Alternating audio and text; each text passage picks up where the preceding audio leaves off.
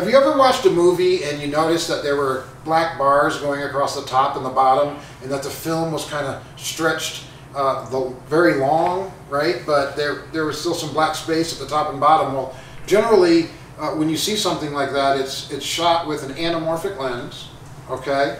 There are ways to cheat that, and a lot of people will shoot with a regular lens and then just crop out part of their photo and put black bars at the top and bottom. Well, they're losing 50% of the footage they shoot. It's hard to compose like that. And they also miss out on the most important factors of shooting anamorphic. And that is the bokeh that turns oval, and also the flaring that we get from strong light sources. And lastly is the stretch that we get. So the idea here, guys, is that if you use these anamorphic lenses, it'll help your viewers to feel like they're looking at something cinematic it will bring back that memory. It's not something that people consciously think of, but when they see oval bokeh, when they see flaring, they think, even if it's in the back of their subconscious, they immediately start thinking movies, cinema, things like that. Go watch a J.J. Abrams movie or uh, any kind of science fiction movie. Uh, some of them can be a 1.33, that's very common, where it's about 33% longer than normal. Or we could do a 1.5, they have 1.75s, and then very commonly a, a CinemaScope 2X. Most of Hollywood, when they shoot anamorphic, they're using 80 to $160,000 lenses. Yep, that's one lens at $100,000. so there's lots of expensive anamorphics out there right now, and those are the ones that the big guys use. There's a lot of movie theaters that are shutting down. Everyone's watching movies at home, and the theaters are shutting down, and guess what they have when they shut down in their movie projection booth? Well, they're projecting the film with these lenses. These lenses are made to be put in movie theaters. It projects lengthwise that long horizontal view. That's how we get it, using these lenses. But what we found is we can take these lenses, instead of using them to project in a movie theater, we can take them find ways to attach them to our regular mirrorless and DSLR cameras and use them to record and then de-squeeze them in post or later on. And I'm going to show you guys that. Okay guys, so to start we have this German-made lens. This is very inexpensive. And they're in, uh, usually in very good condition because they just sit around projecting at movie theaters. But uh, the glass is, is, pristine on this one. Um, and it's got a purple coating which helps give great purple flares. Um, the only downside on it is that it's very large and it's very heavy. Not something you want to swing around your neck on, on a camera strap.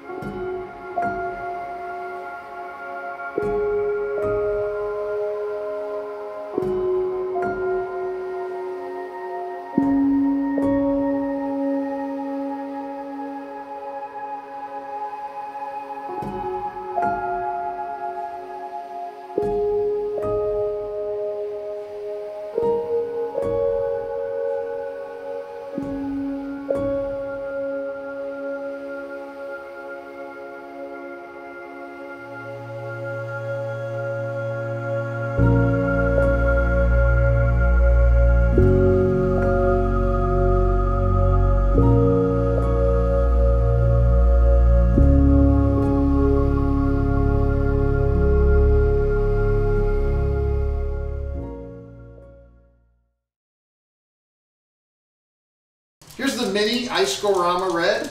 Uh, this is the sharpest anamorphic lens on the market. There's nothing sharper anywhere, and you have to pay for that premium. And then I have a, a Nikon taking lens on it as well, and we'll talk some more about that soon. I even went through the trouble of removing some lens coatings on the front element and on the rear element, um, but we also have lens coatings inside the lenses on the front and rear elements. and there's also glass in between that. So I cannot remove those coatings. Um, again, I'm just not getting any flare at all out of this, but the sharpest one you can find. And then I have a, a Nikon taking lens on it as well, and we'll talk some more about that soon. Also, I have a single focus adapter.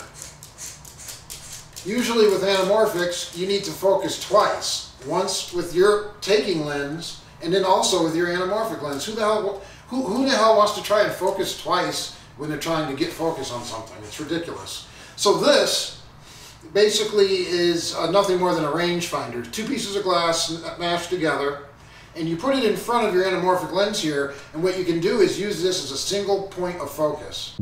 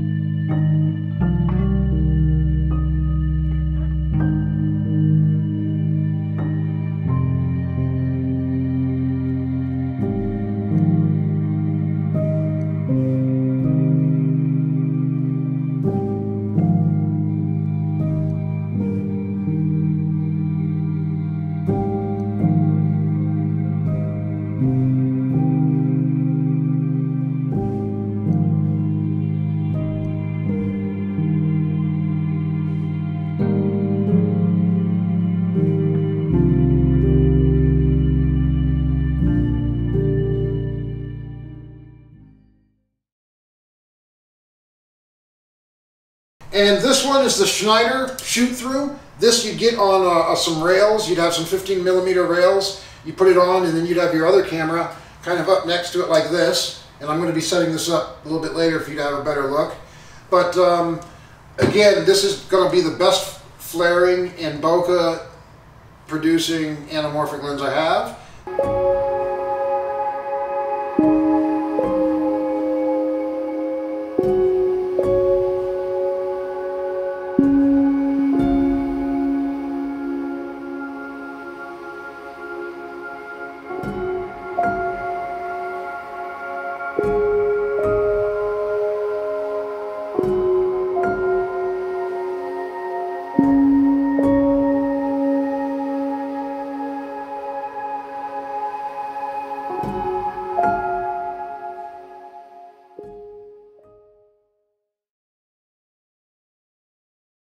Now this is the Moller, made in Germany. Now this lens is much smaller and lighter. I mean, it's like two different worlds, right?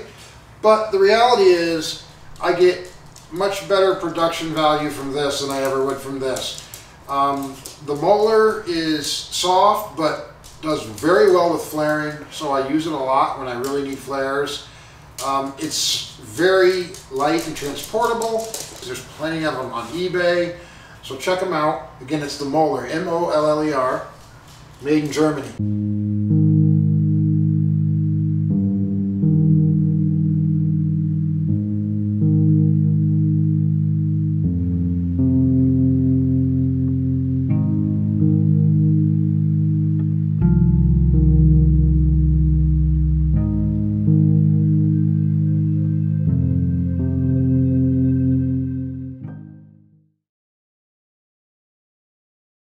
Lenses never were ever made with the intention of being able to screw these onto the outer threads of regular prime lenses. Okay, they're never made for that. So you're not going to find um, rear mounts that would fit a normal DSLR mirrorless camera. Look at the size of this.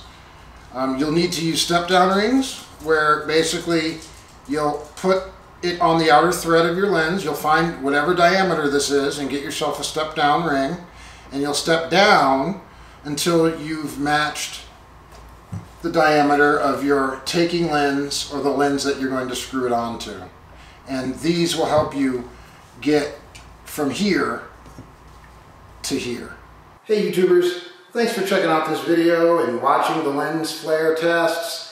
Uh, just wanted to give you guys an idea of what you can expect when it comes to lens flaring and the type of different kind of lenses that are out there available for you to mod onto your DSLR or mirrorless camera. A lot more people are doing this now and it's a lot of fun. I am no expert in this by any means, but I have been through a lot of learning and I do have some experience now with it I'm just trying to pass some of that on to you, okay? I do realize that some of this footage was not all necessarily in focus, to say the least. Again, it was really more a flare test. We're gonna do a focus test next using some of these lenses too to give you an idea of sharpness, uh, but that'll be next, okay? So after all of this, there's just a few things I want to recap on that are important for you while you're shopping or looking around. If you think this is something you want to do, um, don't waste your money buying a, you know, climbing yourself up the ladder and then ultimately buying the lens that you're going to get anyway. Do a lot of research, you know, watch videos like this, look online and, and you can see and get an idea of the type of footage that you're going to get from different lenses and maybe you can make a decision based off that. A lot of people go to eBay and buy a two, three hundred dollar lens from Russia or uh, Japan and very happy with the results and, and good enough. So be it, right? And so that can work for you. So uh, don't get carried away with um, having to feel like you have to get the, the best, most expensive lens of all time. A lot of these lower end lenses work just fine, especially with the 2Xs. Do yourself a favor and get some 15 millimeter rods and some sort of rig that you can use to put a shoot through uh, lens on, like the Schneider that I'm showing you here. That's a great setup. I can autofocus through that. With my D850, I can use autofocus and then snap back to manual, of course, and shoot and quickly catch focus. I don't have to deal with uh, setting my lenses to infinity and then getting the rangefinder and all of that. So it's really useful to have a, a shoot-through lens that's set in front of your regular lens because it makes focus life way easier, okay? Also, up front, when you're first getting started, don't make flaring the reason you buy an expensive lens. The aesthetic of flaring is going to wear off pretty quickly when you go down the road of anamorphic, and you're going to start to realize that things like sharpness around the edges and, and, and weight are way more important than um, the very occasional flare that you're going to shoot. What I like to do is I have a lens that I use just for flaring, and if I need to go out and shoot uh, to catch a flare, I'll do that. But when I go outside in the regular daylight and I want to shoot a scene, I'm certainly not using that. I'm using my red Isco. Another thing I want to bring up is that rangefinders, single focus adapters, extremely important, worth every penny. They can range from 400 to 700 bucks for a little device, but man, is it worth it. You can focus with one lens that way. It's much more useful. You have to be able to rack focus when you're shooting, right? Well, you cannot rack focus unless you've got a single point of focus to do that. So I found that that is one of the most important tools in my toolkit, okay? Another thing, very important, stay level. With anamorphic, you have to be level. If you're not level, all your verticals are gonna look like this. The whole seam's gonna be off. And yeah, you can fix it in post, but it's a pain in the butt and you're gonna have to crop some to do that. So I highly suggest using tripods every time you can. If you have to run and gun, I'm getting real tired of saying that expression, but if you have to be running and gunning and you have to be hand holding, then do everything you can to stay level. Bring that level up on your camera and use it. It is important. And lastly, get yourself a cage for your camera body and some rods. It's so important. There's so many reasons why it's important. You can attach things to it, like I've got this monitor and Atomos recorder here. At the top, I can get handles. The further my hands are from the sensor, the more stable I am. That's just physics, okay? Uh, so it'll be a little heavier, your footage will be more stable, you'll have a support for your lens, right? You don't want that pulling on your camera mount all day. So that's important. And look how quick this is. In one, two, three, I can pull this off of here and be shooting, okay? And I can stay level with my level on my camera, and I can move around, get angles, whatever it is I need to do, and then quickly just put this back on, and then it's one, two, three, and it's locked back in, and I'm, and I'm level and I can keep shooting. So um, a quick release is important, staying level is important. Those are the things that I found are most important when starting out with anamorphic guys. Keep those pointers in mind. don't waste a bunch of money. Start out with something affordable and uh, stay level, rangefinder, and you're off and running, okay? So good luck. We're going to be doing a focus test next, so stay tuned for that, and we'll see you on the next video. Oh yeah, I almost forgot. Guys, I need your help. I want you to let me know what you think about the video footage compared to the, some of my older stuff. Um, I was shooting with the Z6 for most of my videos for YouTube, and I've switched over. I bought myself a GH5 used for a smoking good price. I got it for 1100 bucks, so I'm excited about that. But I want to know how the footage looks compared to some of my older stuff that was shot with the Z6. So let me know what your thoughts are on that, and we'll see you guys. Thanks.